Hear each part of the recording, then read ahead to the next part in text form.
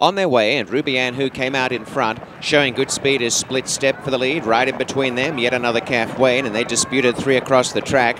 And yet another Calf Wayne's got up to join Ruby Ann, who just ahead of split step.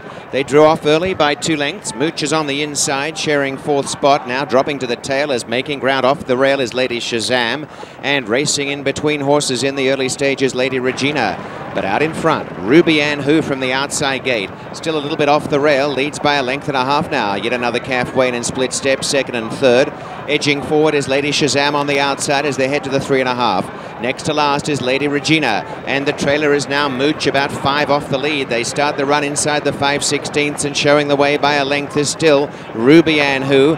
Coming up on the inside, yet another Calf Wayne, split step the centre. On their outside, Lady Shazam. Lady Regina called on Mooch is three or four behind. Turning and still out in front, Ruby Ann Who off the inside.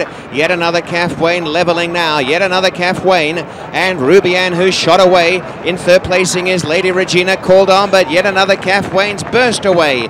Yet another Calf Wayne, a 16th to run, well ahead. To second on the outside, Lady Regina, but yet another Calf Wayne scores impressively.